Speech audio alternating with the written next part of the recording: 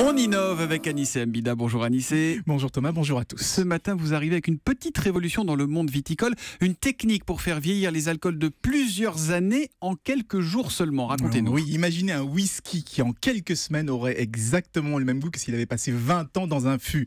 Ou mieux, un, le Beaujolais nouveau hein, qui deviendrait aussi bon, aussi moelleux qu'un vieux Bordeaux millésimé, tout ça en trois jours Là, à peine. c'est carrément un miracle hein, pour le Beaujolais. Pardon, pardon, pardon.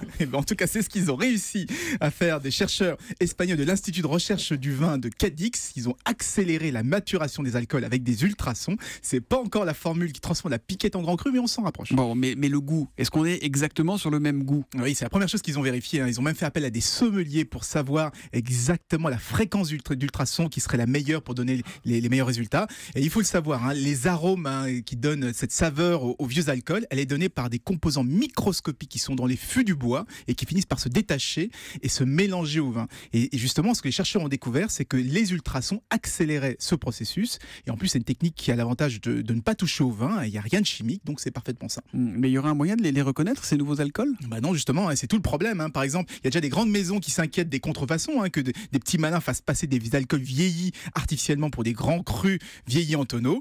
Euh, mais de l'autre côté, il y a aussi des petits jeunes artisans qui se disent, bah, c'est une nouvelle façon de se faire une réputation, de jouer sur le goût avant tout plutôt que sur un nom euh, connu. Mais en tout cas, une chose est sûre, c'est que cette technique va faire baisser les prix, surtout les prix des meilleurs alcools. Et à ça reste, consommer- évidemment, avec à modération. Avec modération. Ça manque un peu de romantisme quand même, votre truc, parce que ce qui est beau aussi, c'est la poussière sur l'étiquette, c'est le fait de savoir pendant des années que vous avez une bonne bouteille qui dort dans la cave, non? Ouais, il y a un peu d'artificiel aussi, on peut le faire. La poussière artificielle, c'est très simple. Ouais, Il fait même de la poussière artificielle, peu Mbida. de Oh là là là là. Allez, revenez quand même demain, demain.